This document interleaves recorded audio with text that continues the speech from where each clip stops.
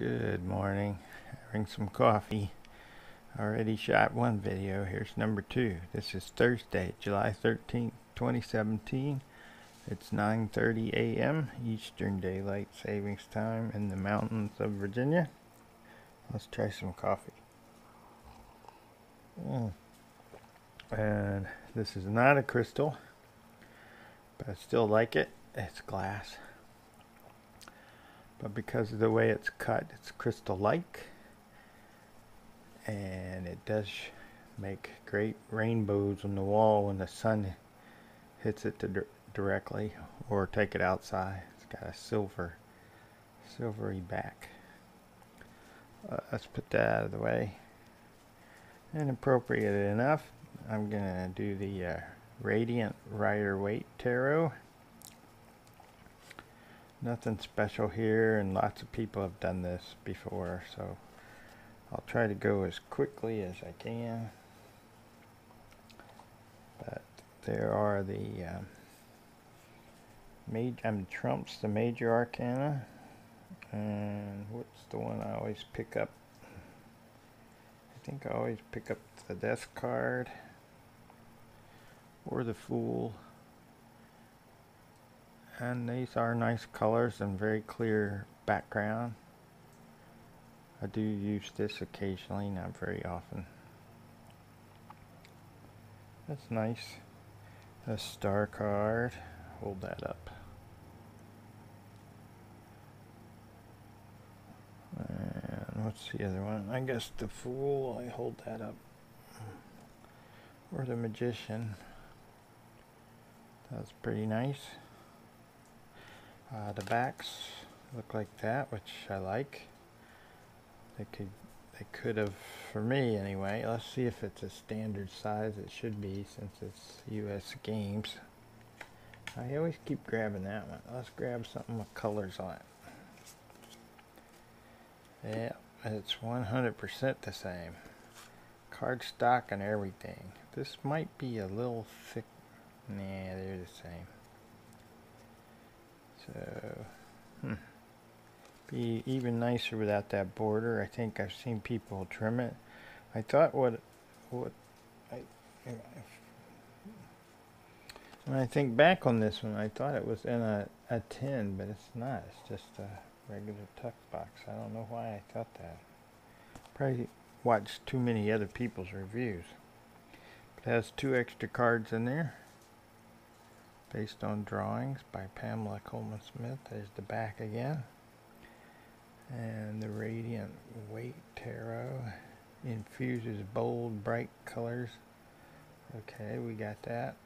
That's, those are nice. I'll just put one on each end here. And of course the little white book, which is little and white. I won't go into that any. And then the uh, minor, some reason they're out of order. Let's just do this really fast. Since other people have done these. See now I like that one. The building kind of kind of stands out for me a bit more. And they're not as big. Interesting how they do different takes on these. Uh, let's just put it out of the way. That was Pentacles. This is Swords. And of course it says that at the bottom of every card. Which is pretty obvious they're swords. Hello. There, I like that one. Hmm. Interesting. And the cups.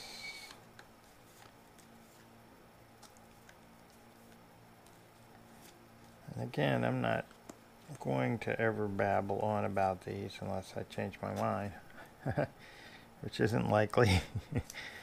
but because lots of people, oh, wow, that's, I guess I don't recall that. That's a big improvement.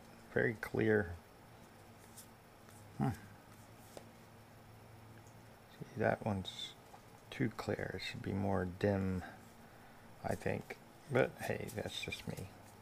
I'll never do these full reviews that go on and on and on because there are other people that do them much better than Kelly a Truth and Story and uh, Simon.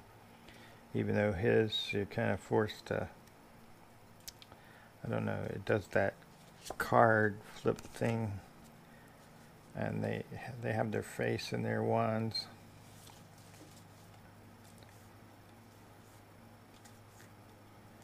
But other people do much better job of this. I'm just basically documenting and if I add anything to any of it that's out there already, it's that these are at, this is being recorded at 1080p, so it's a higher resolution than most of these people are showing it at. So where's the death card? I'll put you on top of justice. And we'll put the little white book over this way. Ooh, things are moving. And with that, since I still have at least, I think I counted yesterday, 15 more decks. Maybe it was 18. Something like that. Let's say 20. I still have 20 or more, 20 of, of these to go. Plus I've ordered two newish ones, I think. So, whew, takes a while to go through your decks. So with that, this was the Rider, I mean the Radiant Rider Waite Tarot. That one. and I'll let it go for a second, and get the microphone out of the way if it's in the way, so I can capture this image. And with that, I'll say peace.